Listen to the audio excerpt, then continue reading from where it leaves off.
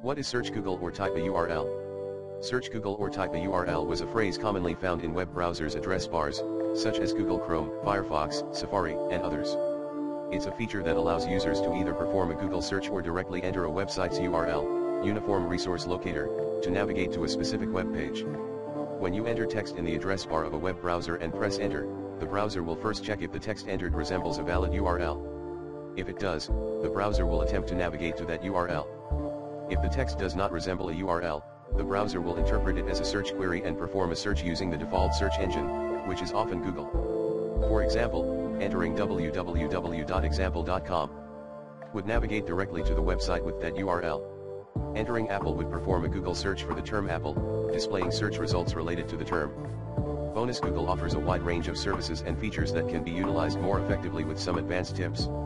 Here's a list of advanced tips for using various Google products. Hashtag hashtag hashtag Google search. 1. Use advanced search operators. Utilize advanced search operators such as site, file type, in title, and others to refine your search queries and find specific information more efficiently. 2. Search by image.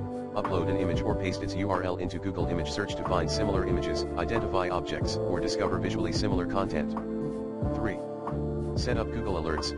Create Google Alerts for specific search queries to receive email notifications whenever new content matching your criteria is published online.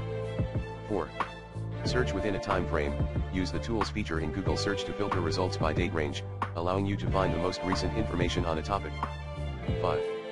Explore Google Search features. Experiment with various Google Search features such as calculator, unit converter, currency converter, weather forecasts, and flight status tracking by entering relevant queries directly into the search bar.